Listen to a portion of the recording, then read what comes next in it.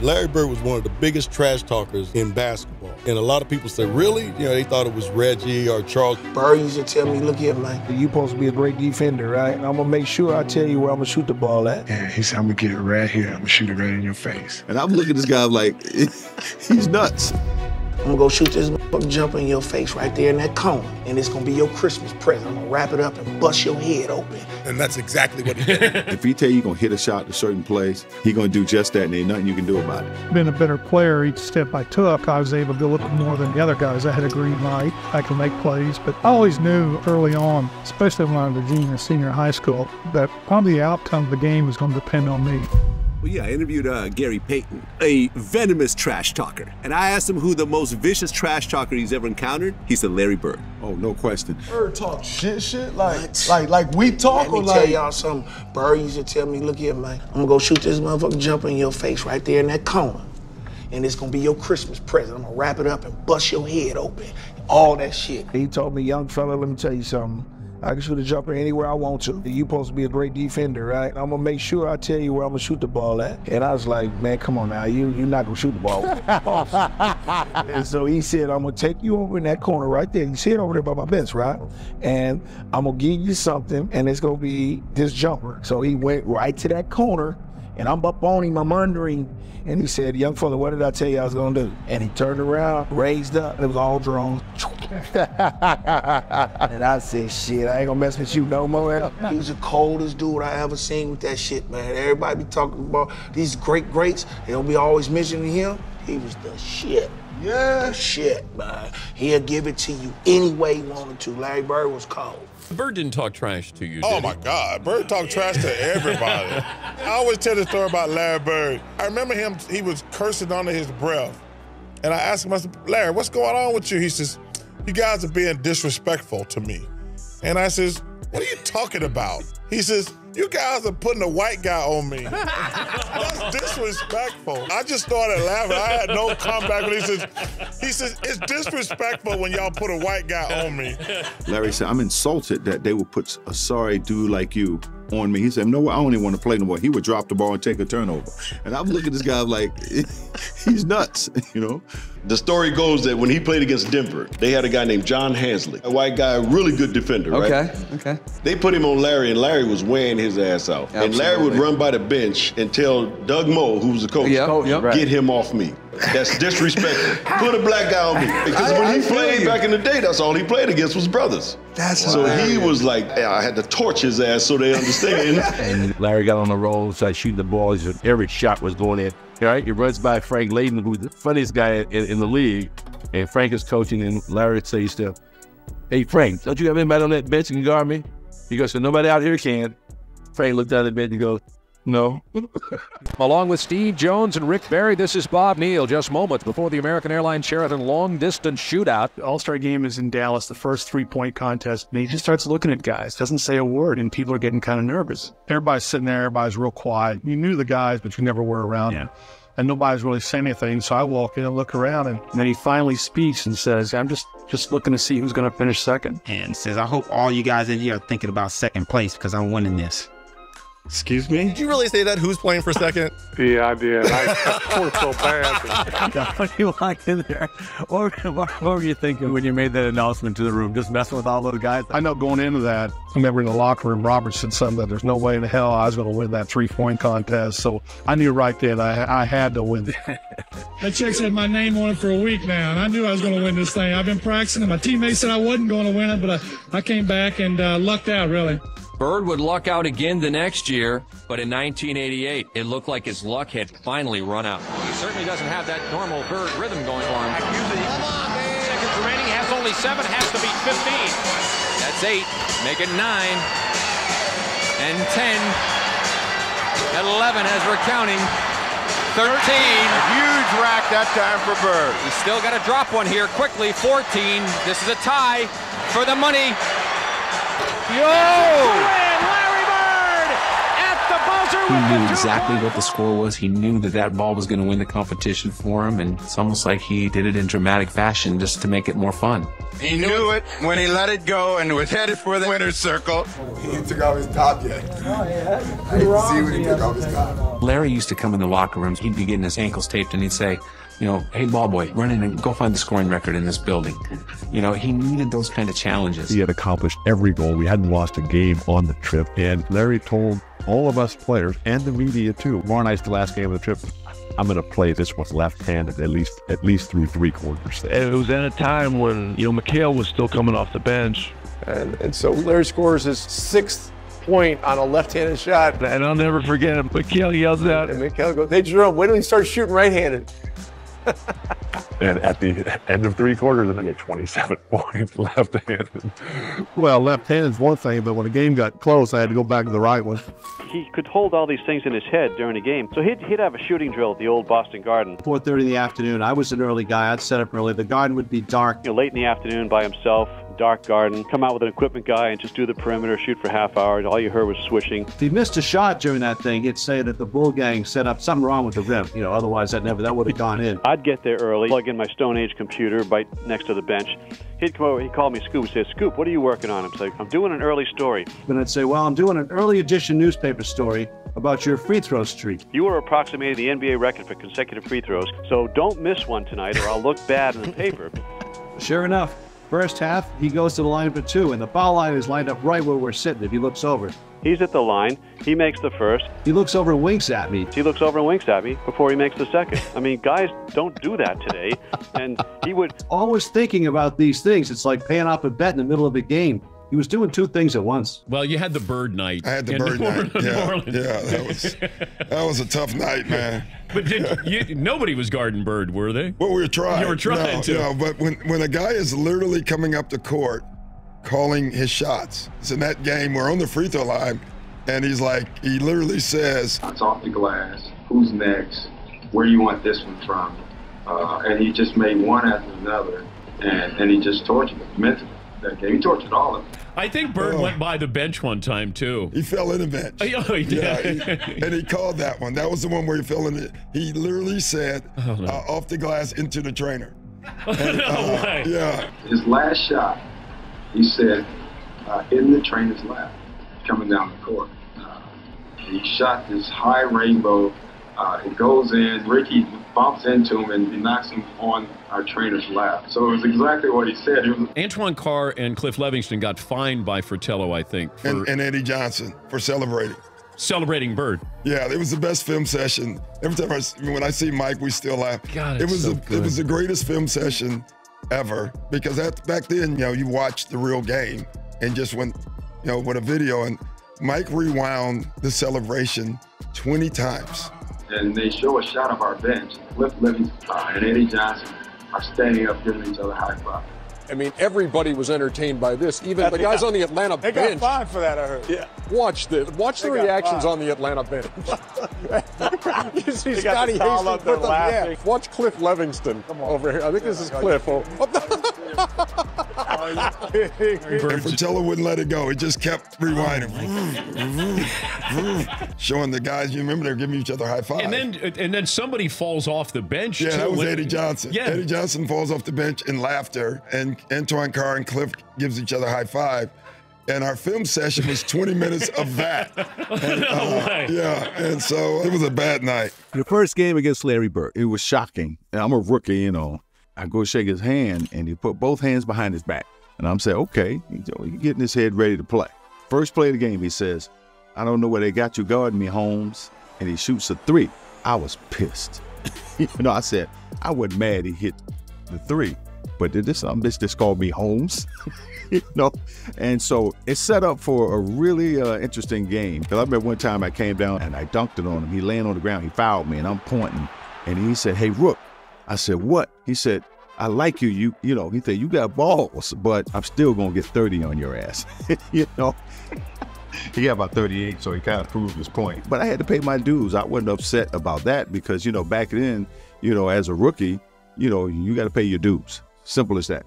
It was funny. The first time that I played in my rookie year, I guarded Larry Bird, and it took me about 10 minutes to realize I should be probably guarding him instead of staring at him. You know? and he came down. I was, it was funny. He came down one time, and Mark West was the center on our team. And Larry looked at me, and then he looked at Mark, and he said, uh, Mark, I'm going to go down. I'm going to come off the screen. I'm going to catch it right there. I'm going to turn around. I'm going to shoot it in the rookie's face, and then I'm going to run down the floor. And that's exactly what he did. and I'm sitting there. That just happened. But did he talk to you, or you weren't He good talked enough? through me. He never, he right. never, addre- he never addressed me. I love that. Like I wasn't even there. And did Mark West? Mark West going? Mark was like, all right, okay, man. yeah, Yeah, all right. you probably will. Hey, Good Mark. luck. And then he did. He did it. Well, there he was, did there was nothing I could do about it. He backed up whatever he said. If he tell you gonna hit a shot to certain place, or if he gonna take you down to the post, turn around, hit a fadeaway J, he gonna do just that, and ain't nothing you can do about it. Uh, these guys came in together in 81. There's Kevin, there's Larry, there's Robert. Dennis Johnson, Danny Ainge, they knew what each other could do. And what I did was said, okay, let's see what's what's happening out there. And you'd see uh, Larry shooting a three-pointer, and then I call a timeout, but th- and they didn't count the three-pointer. Larry just hit what would have been the game-winning shot, but KC called timeout. It won't count. It does not count. Boston had called a timeout. Larry came back to the bench, and you know he was a little upset. So he's very upset with that. So I diagrammed the play. He says, heck with the play, Case. Hey guys, when I come back after timeout, I'm going to go right to the same spot. I'm going to kick it in. Give me the ball and tell all the rest of the guys to get out of the way. I said, shut up, Larry. I'm the coach here. Okay. All right. Dennis, you take the ball out, give it to Kevin, then you throw it to Larry, and everybody get the hell out of the way. Celtics are down by two points, and Bird is out by the three point line, and he's being guarded by a guy named Johnny High. He goes down before the ball is thrown in, and he's standing right in front of the Phoenix bench, and he looks at all the guys on the bench and says, Yeah, I'm just fixing to bust a three on you guys and just go home. I'm tired of this. and he says, uh, watch my hand as I follow through. And, you know, Johnny High sort of, sort of smiles and laughs about it. and I was supposed to cut off the high post and post up for a second and then go across and, and set a pick. Well, I came off the pick and I was wide open and I stood there waiting for the ball. I had a smaller guy to post up and, and Larry just waved me out of the way saying, get out of here, get out of the way. And then he just turns around and shoots a perfect three. As the ball's in the air, he kind of turns towards the Phoenix bench and yells, Told you so! and takes off running to the locker room. As he continues on to the dressing room. Now, that's what you call arrogance. And from that time, I learned uh, to run Larry's play, not the coach's play. He wanted the light on him. He wanted the focus, and he wanted that ball. And in case he would ever call somebody else's play, Larry would just say, "No, no, no, I, I'm shooting this ball," and, and he would. I get a charge when I tell someone on the opposing team that I'm going to hit the last second shot and then do it. That's what it's all about. High game. 13 seconds to play. Celtics basketball. During the timeout, I'm going through a play. And about that time, Larry steps in and says, uh, Coach, uh, why don't you just give me the ball and tell everybody to get out of the way? It's Larry. If he wants the ball, he wants the ball. After the timeout, we walked back on the court, and then Xavier was guarding him. So he tells Xavier, he says, I'm getting the ball. I said, I know I'm gonna be waiting. And he said, I'm gonna get it right here. I'm gonna shoot it right in your face. Five, and Bird has the basketball. Look out. Larry Bird just phenomenal the way that He came out when right about that ex- exact spot and shot a shot right in my face. And you know, he was like, I didn't mean to leave two seconds on the clock. I walked back to the sideline like, damn. Larry Bird was one of the biggest trash talkers in basketball. And, and a lot of people say, really? You know, they thought it was Reggie or Charles. Larry Bird talked more trash on the basketball court than, than anybody I've ever played against. So we playing him the last play. He says uh, to James Worthy, he says, you guys don't have to worry about it. I'm going to go right over there that corner. and I'm going to catch it, I'm going to shoot it, and I'm going to tie the game or win the game, whatever the case may be. They take the ball out, and I think it was either Danny or, or, or um, DJ? the late, great DJ. Yeah. You DJ coming down, right, with the ball. Oh, great DJ, that's good. so pass it to Larry, he's in that corner. Now I gotta go out and close Larry Bird out. So as I'm running out to Larry Bird, he's talking trash to me. I don't know why you running out here. Who says that in the middle of the game? He said, I'm gonna wait till you get one step away from me and I'm gonna shoot it right in your face. So I got one step away. He shoots it all net. Three pointer, good. Take the ball out, man crow right to the corner, caught the shot, shot a three, And game made it. It's like, are you effing kidding me? and he turned to me and said, You did all that running for nothing. And he was saying in such a calm way that you didn't think it was trash talking, but it's trash talking. You, you're not going to tell me you're going to go over there and shoot the ball in my face. That's trash talking. But he, he would tell you before the play even started. He'd tell you where he's going. He'd tell you when he catches, it, there's nothing you could do about it. And it was great trash talking because it wasn't vulgar. I mean, he wasn't pounding his chest. You can just be standing next to him. You know, I would jump out and try to block a shot on rotation, and he'd say, Scott. You, you jump high, but you don't jump that high. You can't get this. Tell Scott, you're a little too late. Scott, you're not getting that. Which, why are you even jumping? Why are you running out of it? It- But it Don't was do all that. game. He'd, he'd say something like, "Don't do that." Yeah, don't do that. yeah, I mean, he, and he talked the whole game, and it was, you know, after the game and after years of thinking about it, you like, Right. man, that dude, why he's one of the greatest players ever played. He was ridiculous. He came on here. Our sportscaster played uh, the Superman theme when he was talking about him that night after the game because he did everything uh, Right. points, rebounds, assists, uh, just steals, you name it. Larry has such a great mind for the game. I had a lot of respect for him as a competitor. that competitive nature, the work ethic, because I asked a lot of questions. You know, playing with Byron Scott, I asked him a lot of questions. Eddie Jones, Magic, um, James Worthy, Kurt Rambis, all the Laker greats, I would always sit down and just ask them questions. What actually happened there? What did you feel there and why? You know, Bird tough to defend. Why? Because you look slow as shit to me. So like, I'm, I'm like I'm missing something. So like, tell me what I'm missing. You know what I mean?